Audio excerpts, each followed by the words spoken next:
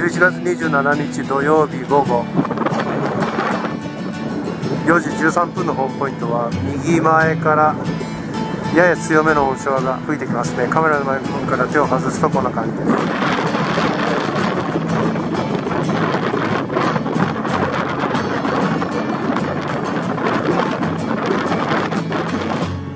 波はまだまだダンパーですね。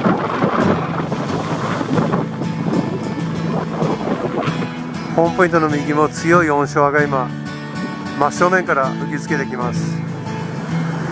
今セットの後入った後なんですけど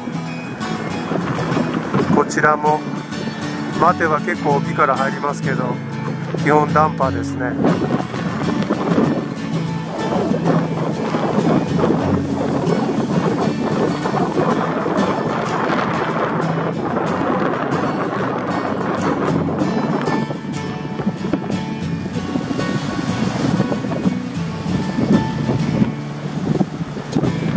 気温は13度ぐらいです。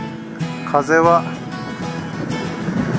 ビュンビュンではありませんがまだ北西が右前から吹きつけてきますね。